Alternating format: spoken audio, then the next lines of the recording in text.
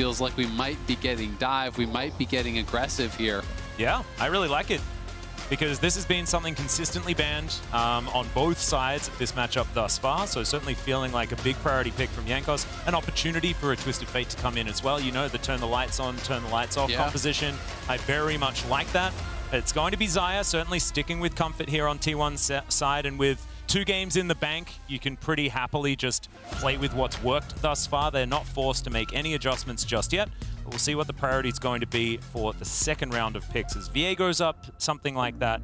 If Oner wants to go there, we'll see what he's thinking. And I was going to say that the moment you see dive, the desire just makes so much sense, Yeah. right?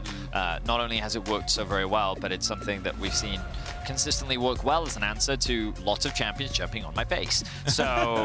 um, with the Leafs in there, you also have more disengage from T1. And for me, I think that we're just seeing a lot of skill expression. Like we talked about at the beginning of game one, but things like Oh, Saya, things like whoa. Lee Sin, it gives you so much agency to be able to make outplays. Uh, and I think T1 is feeling very comfortable with what they've gone so And this is the first time Ornn has actually been left up. They banned out the Ahri this time around because Caps, yes, his scoreline wasn't as impressive, but he was really having some great moments in that last game, so they weren't willing to give that over. And now MF, Ornn, Nocturne, that is a lot of engage. That is a lot of dive.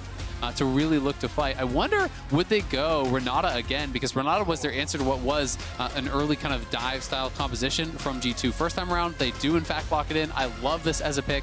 Xayah plus Renata has to be one of, if not the best duos in bot lane at answering dive. You dive in on the Xayah, into the Blade Caller, into that ultimate, and then you have the Renata ultimate flying through as well that disrupts you. And it's really difficult for MF because though it travels slowly, it has great range and can actually reach the MF from uh, pretty much outside of MF's ult range. I was going to say it also means that Tier 1 don't have to ban uh, Nautilus if they Yeah. don't want to, because we've seen Renata has been used consistently across the globe as an answer into the champion. So they can get rid of some of the other more nuance. They can ban away the Rakan. I think they can consider the Pyke as well if they considered it a problem. Maybe they don't after the first game. Maybe they think that it's perfectly fine, but they can actually choose to leave the Nautilus open, which while offering a lot of crowd control, uh, won't have that say, uh, will give them still a strong 2v2 matchup. Yeah, and uh, the Yone is going to be banned away here. A lot of respect for the first time that Zeus picked up that champion.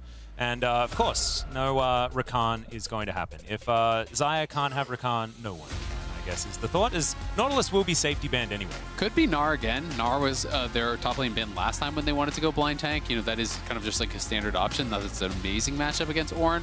But I'm really curious to see Zeus again being pushed further kind of down the pool here. You know, does he have a really aggressive pick? Aatrox is also something that's just super popular that you can use as an answer. This was really Jace is popular still in fine. NA. Jace is fine as well. Um, I actually I feel like Jace up, has though, not the greatest of matchups into the Ornn specifically, but It is Gnar, yep. Yeah. So they, they leave up the Gnar. Like last time around, they did ban that as the top laner. This time, more worried about the Kennen, uh, which is a little bit interesting. Um, and it is going to be Gnar, so we'll have to see how he can actually handle that matchup. Yeah, I mean, this is something that Zeus is very, very comfortable on. He Yeah. debuted on this champion, had an extraordinary performance in his first game. This is when we're like, oh man, Canna, watch out for your position. And then Zeus had a few less inspiring games after that, last year, of course, in 2021, before he found a lot of stability. Um, but this is certainly something that he's uh, very, very comfortable on, especially into the Ornn matchup. As Zoe, another big pick for this tournament, um, is going to come through. I think it was Caps that uh, decided to go with this one first uh, here at MSI. Yeah, he used it as an answer, I think, into Zhao Hu. Uh, I forget exactly what I think the it was matchup Ahri, right? Yeah. But it was something along those lines. In any case, the pipe looks to be coming out once more. The front line primarily is going to be in the top side of the map. Uh, ooh, as I say that, a quick Lane pivot to give them a little bit more agency in the two versus two, a little bit more range and a little bit more prowess, along with the shielding and the, the utility that Karma provides, it offers a little bit more scaling towards the side of G2 as well. The big question is, how will Faker now round out this draft? A lot of mobility on the side of Tier 1. They have a little bit of an engage with uh, Gnar, but their primary goal is counter-engage here. So how will they round things out? The Akali is what they're considering right now, and he will lock it in. Okay. Okay. It's the uh, the classic Akali Lee Sin combination, having them on the same team, certainly something that that everyone very. classic? I mean, it is in the LCK. We Oh. love just picking Lee Sin and Akali together. Um, no matter how things have changed uh, with Vision and Shrouds and things like that, it's still something that we love pairing together. And Faker has loved this champion as well. But this is feeling like a bit of a flex into Zoe, because this could be difficult, especially early. Yeah, it'll be interesting to see how he can actually play that out. A lot of these these range matchups can be difficult in the early levels for Akali, but you go into second wind, you start D-shield, you really just try to sustain and kind of get your farm. Uh, I'm super interested, though, how G2's bottom lane goes, because I think it has to go well or it's going to be really bad. And I do think they have a lot of power here, especially they could even go double Comet here if they want. You start MF plus Q with Comet on Karma. You get the slowdown. It makes it very difficult to actually dodge that Karma poke, but we'll see how heavily they want to index into early laning. I will say of all three drafts, this one is probably my least favorite from T1. Um, the Akali I'm gonna trust Faker, right? He's he knows more than me about He's the mid lane matchup. Guy. Yeah, and, and, in terms of the matchup, in terms of what he sees, I'm gonna try a default to trust here because there's no reason to, to question him. It's more like when I look at the comp in its entirety, I don't see how this T1 comp functions without the enemy engaging onto them. And the thing is, while Nocturne is typically dive, you have Zoe, you have MF Salty, you have uh, not Ornn's ults can be used as a ranged engaged as well. Like, there's actually a lot of distance that they can use, which I don't think T1 have many tools to close that gap outside of a good Lee Sin flank or a Gnar flank. So I am a little concerned with the options that T1 will have, and they're very reliant on G2 kind of coming into them and being the proactive team. And I will say, you know, because T1 is such an early game team and so early game dominant, if you get lead, it's very easy to be first to the objective and the opponents have to come to you. True. Right? So I think if you're depending on winning your lanes, well, T1's a pretty good team to be able to do that.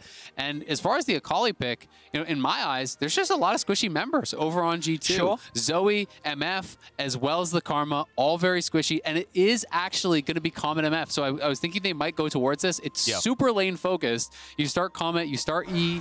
Um, it is going to be Aery and exhaust because there's an Akali. I think yes. you just like have to. I agree. Uh, so you can't go Ignite. So it's not full, full offense, which would have been Comet on Karma as well, and Ignite. But this is a very strong 2v2. G2 should have a really good time in this 2v2, and we'll see if they can really make the most of that. Yeah, and it's also fantastic because this is a game where G2, it's not just an even matchup in the mid lane, it's a very, very uh, yeah. caps-sided uh, uh, matchup as far as the early stages of the game. So being able to play around that bottom side won't have Faker just looming ever present with that threat. It will be more Caps being able to make his way down. And he does have the Ignite there as well. Not going to exactly be able to teleport, but will have a lot more power uh, on those roams as well. So Faker going to move back here towards the mid lane as we get this laning started. We'll see how T1 is going to go. One of the really cool things about this T1 comp, I want to say, I agree that it's not been their best so far in this best of five. But if you get a Gnar into the wall and a, a perfect execution layered across, that is going to feel fantastic. I mean, for sure. And I very much agree with Zale that when uh, when you're an Akali and you look at that those champions across the board, you I think, can kill them. I can kill all of them. yes, exactly. Um, and all you need is one good flank, and we've seen how great T1 is at getting that vision control, setting up for these objectives. So, yeah. again, I'm always going to default to trust when it comes to Faker. Um, I'm just excited to see how he actually makes this execution works. The flash comes in. Handshake, yeah. Targamas already burning down does have the Blade Caller, Gumayusi, but he's not going to be able to actually lock down any kills or anything like that, but certainly sending a message in the early game. Yeah, absolutely. I mean, they get the push here early on, and they're just they're just straight up hitting more of their skill shots, right? You know, Targamas hasn't been able to connect with as many of the Qs. They get the push here. Jankos, they're not going to expect this. A wraparound without even having his red buff here. Absolutely no vision, oh, but Keria is going to spot him. Gumayusi now trying to walk this one out. The flash out of the Duskbringer. Okay. Gumayusi is going to now not have that escape option as this lane continues, so expect a little bit less aggression from T1 down here. Yeah, absolutely. They're going to have to at least have eyes on where the G2 members are, Jankos in particular here, uh, because he could look for some sort of a repeat play, but you know, T1's bot lane getting very aggressive here, trying to play it in the face of their opponents. Uh, really, you want to have the push when you're playing this type of a combo because Karma under her tower is so easy to actually deal with. But when you are getting pushed in, it becomes very difficult for the enemy AD to dodge your Qs because you know when they're going to step forward for the last hit. You throw the Mantra Q out. It becomes almost impossible, plus the slow there from MF. Um, but if you are getting shoved in, it's just so much easier to kind of stand with the minions between you and the Karma. Game against these these dominant LCK teams, you can beat them. Yeah. You can take them down in best of series. And I think that is really what was so special about G2 coming onto the international scene and showing everyone that it could be done. And uh, I mean, if you want to like go back through the history books, back in 2017, it was also like Perks' redemption arc on G2, Yeah. getting G2 solo vacation. kills onto Vacate, Yeah. uh, to Vacate, Solo kill solo kills onto uh, That's onto one heck of a Freudian slip. I don't even know how it you fell was into uh, that. it was a, such a dramatic change uh, for for G2 back in 2017. Yeah. Even though T1 did end up winning, it was kind of like the beginning of, of so much change in Europe. So a lot of history, and right now T1 are on the precipice of finding themselves as the victor once again. Caps looking for a kill onto Faker. Oh, the bubble can down lands. here. Is Ignite. Bubble is going to go down as let's see whether Faker finds the right spot. He doesn't. He's going to flash Oh, into the oh, brush. he did it, That did it. was sick. No, flashes over the wall. Oh my god, that was. Uh, He just broke his ankles. yeah. Oh and now my Caps is- he's stolen the flash, so he has it at the ready. Is now Faker. He can execute. and there is no way that it can be answered. That was so many. This is. That's the Reddit play. That's the Reddit play. It's like the montage juke that you're like, There's no way that would work. I remember There's no seeing way that that like would work. six years ago or something. It was like, well, that looks cool from that guy that was playing in Reddit. It's, it's the thing in solo queue where you're literally just like, I can out juke them by staying in Yeah, specific yeah, spot yeah. because you expect them to flash in a certain Yeah. direction, then you flash in another one, and then Faker just did it.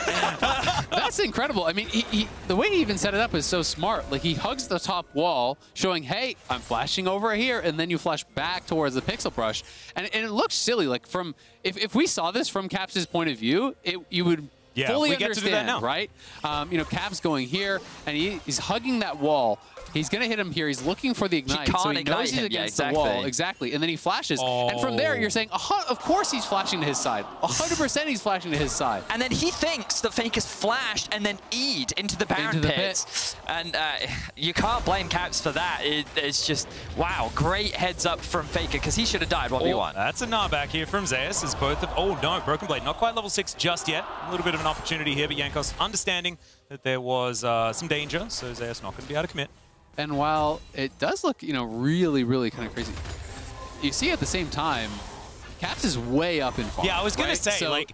even yes, though that it was looked cool, really cool. It's still, uh, like, not going very well. absolutely, and that, and that's huge for Caps, right? So a big play from Faker because when you're down a bunch of farm and then you get solo killed, the lane can absolutely just be over. So uh, Faker, at the very least, able to avoid that. Does of course execute, uh, but going to be back towards mid lane and trying to you know catch back up. So I want to draw attention to what Faker is doing right now because we talked about the fact that Caps doesn't have TP, Mm-hmm. and Faker recognizes that in order to back Here comes what Jankos running to Ignite, you have to be very specific in your base timing. So Faker set up a bit of a, a slow push here so that he could freeze the wave underneath his tower. Now he's hit Oh, level they don't 6. Keria's here. Keria coming over. Onan not going to find the Sonic Wave is now capped. Perfect execution from Faker is not going to be enough to lock down that kill. The Ignite comes down. Handshake onto Targamas, who's going down very low, very squishy now on this Karma. No longer on the Bromas. Flakked's moved on in as well. Feels like everyone's here. The heal comes out from Gumayusi. Going to get slowed down for now. Not quite enough of the feathers, and Flakked's going to have to flash. Gets himself out to safety. Still 0-0 on the kill score. Yeah, but thankfully, 4T1, it it does go well for them, you know, forcing out some of these extra summoners here. The wave is slow pushing away from Caps, and he was not able to fix it. T1 had the extra member there, Keria there first. So Jankos was coming to help him push it out, but then they see Oner there, and then Keria's there, so you can't actually reset it. Faker goes for this all in, and just bases with the wave pushing towards him, which is going to even up the farm a lot. If we if we can get eyes on mid lane, there's going to be way more minions for him to farm. So after this gets pushed in, if he can pick up a lot of it, it should be much closer than it was. It's uh, This is something that you will see in pro play, but never in solo queue, where a mid lane and... Oh, hang on. Oh, yeah, ulti comes down towards the bottom side of the map. Gumayusi in trouble, and he is going to burn down. I don't think he's going to get enough to get the kill there on that one, and that is going to be the kill secured from G2. That is going to be first blood, and it is Jankos that helps secure it. Nicely done by Jankos. A, a quick level six there does get the kills. And Oner with a, a rare misplay, safeguarding away and then flashing back Yeah, in. it kind of know. broke my brain a little bit, I'm not going to lie. Yeah, I'm not Oh, sure if, if he was no, worried that no. Carry was going to go down. Now they're looking for a play here. The slow lands. Yeah, we'll see whether the handshake is going to come in. It does, as Oner is going to be able to secure it. So one to one now, immediately going to be evened up as T1 do fake out the back. It's a great punish on the missing flash that they forced out in the jungle earlier there on, but uh, Oner making good on his earlier mistake, you know, makes up for it. Um, we can watch this one one more time as Yanko's quick six, he's going to go in.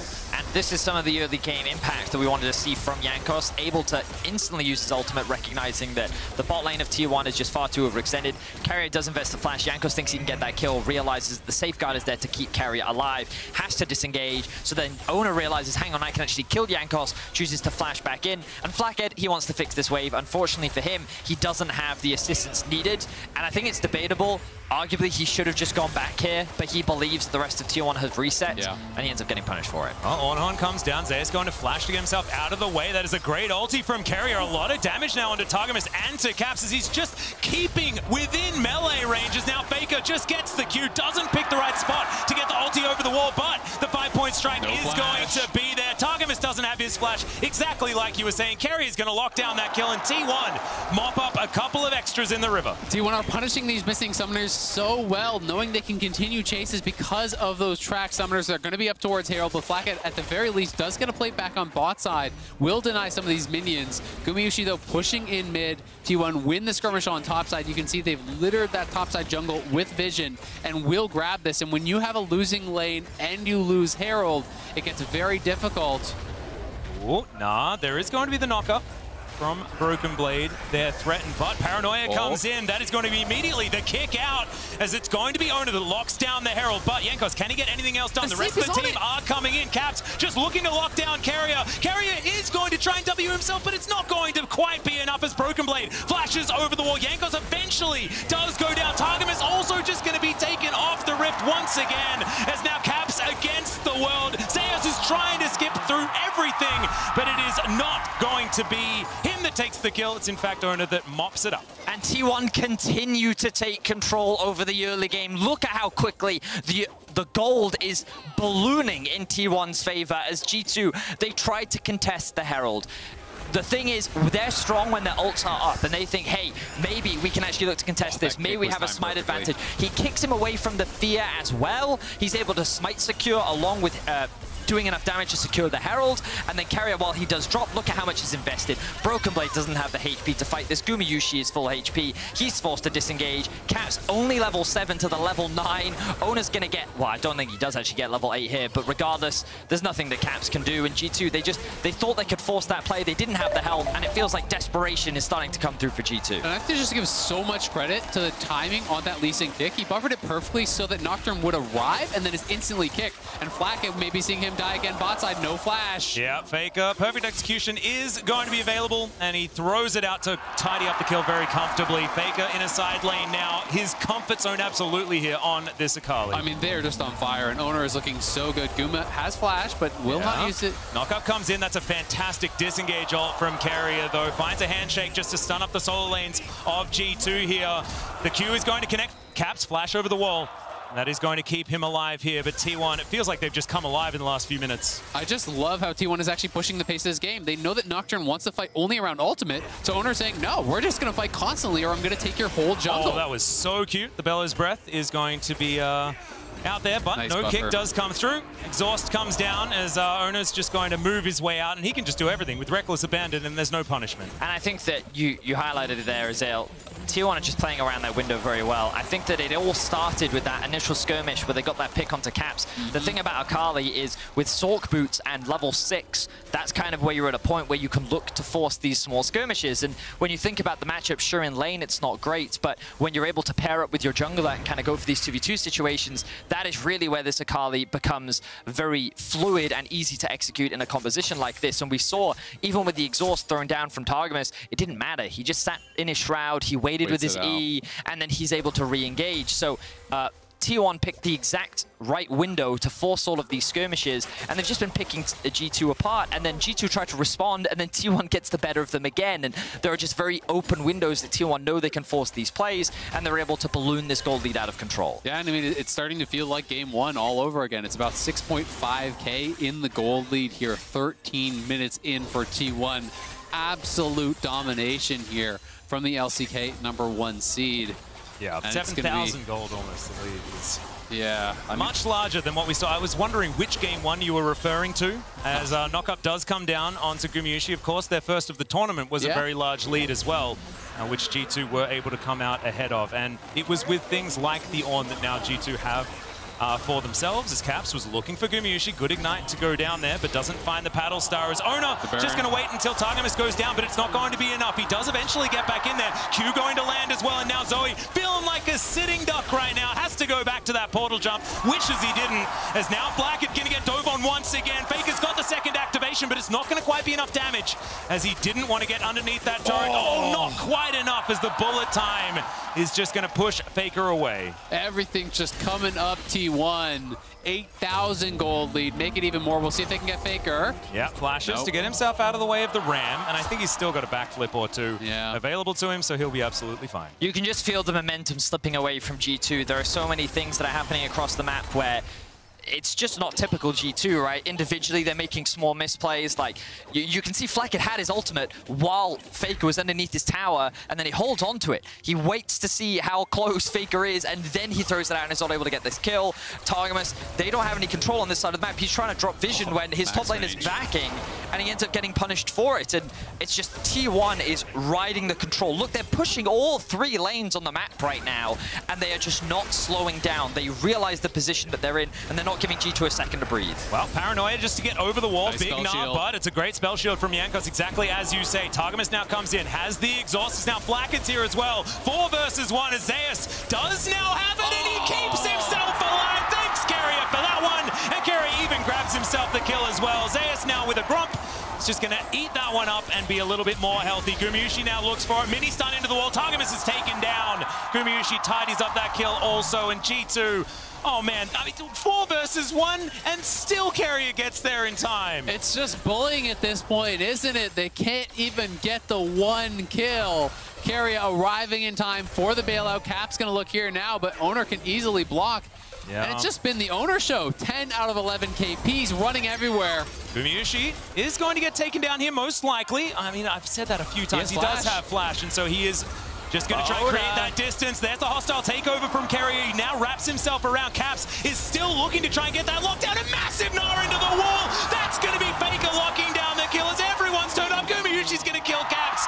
And gentlemen, I don't think G2 have anything left in the tank for this game. T1 are just styling right now. You can see the collapse happening for G2, and T1 is taking advantage of it. Pick after pick, play after play, T1 refuses to slow down with their aggression. They are constantly going for skirmishes. They are consistently outplaying G2, and they are looking to secure their revenge and make their way back to an MSI final. Just looking incredible here. 13,000 gold lead, almost 1,000 per minute yeah. of League of Legends that we have played. They are getting ahead. They are running everywhere, just absolutely styling on G2, getting kills at will. Yeah, and this is this is what we were talking about before, but this time it's the Oner show. Like 5, 0, and 9 on the Lee Sin. He is one kill away from 100% uh, kill contribution on this Lee Sin, and it feels like he's the carry this time around. Yes, Faker in side lanes has been fantastic, but this Lee Sin just everywhere so far, making everything happen. And this is what we saw from Oner in the LCK final for spring. This is why he was the finals MVP. Mm -hmm. And uh, his Lee Sin is still just incredible here in this semifinal. I mean, he has been amazing. And we've gotten to see many times over why Keria was the spring MVP as well. Oh, that's enough, and Zeus is just going to pop the Zoe. We'll see whether Jankos can answer this one as, yep, everyone's coming down to try and take him out this time, but the Ram's going to be there. That's oh. two. Two versus with five people down here. The rest of T1 are launching themselves towards these inhibitor turrets. Sayers takes two with him. And they can push for the win potentially here. We'll see how far they want to go. At the very least, they will get this one inhibitor. They have Shelly. Will they play it safe? Will they play it controlled? It's 17 to 3. They're 14,000 gold ahead. Yeah, bullet time going to be used just to tidy up the minion wave. They do manage to take down Shelly there with that one as well. Sorry, Shirley, I correct myself, as T1 will grab this inhibitor turret as well. G2 now just trying to protect it, and they will be able to do so. G2, just a slight amount of breathing room now. It was G2 that held the record for the fastest best of five internationally ever, and yeah. T1 is now on the verge of getting a sub 20 minute win against G2 who held that record. An incredibly dominant performance from T1, and it felt like that coming into this game, G2 had a plan. They they they were able to get a few comfort picks, but play after play, pick after pick, T1 have just been outperforming, and we see Zeus doing this once again. We've been seeing it all year long, the promise, the potential of this young player, but he basically isolates into two 1v1s. He's able to secure one kill, he secures a second, and while he loses his life, the benefits for T1 are more than worth it. I mean, it's just heartbreaking to, to lose out in those types Yeah. of situations. He had the early two items, now even building towards potentially a, a wit's end third, just going full all in for the damage. They know they are so far ahead here. You know, Faker working towards uh, his second item. We already have two through for Gumayusi, two and a half for Zeus, two for Oner. You look on the other side, you know, it's one only, and sometimes not even one in the case of Broken Blade. They're just so far behind. It's almost unthinkable to, to try to conceive of how they could come back. Yeah, it's a it's a very very difficult prospect. As Broken Blade thinking about this one, Gumayusi getting taken down below half right now. It's G2 just desperate to try and protect this. Faker in the mid lane, getting that split push happening. Of course, there will be super creeps there to knock down that door, but not going to find the Q just yet. G2 holding on for the moment. Their wave clear is pretty good. And of course, it's not like the Baron hasn't spawned. Still got 10 seconds. That's a flash in for the hostile takeover. The kick comes forward onto Caps, but they are trying to get themselves back. The Nara into the wall from Zeus. He throws the boulder through and all four just get wiped from the rift. Flakked just left walking back to the fountain. The teleport to the mid lane. And in 20 minutes, T1 are looking to end this game. T1 wipe G2 off the map, and Flakked is left alive to watch as his base crumbles.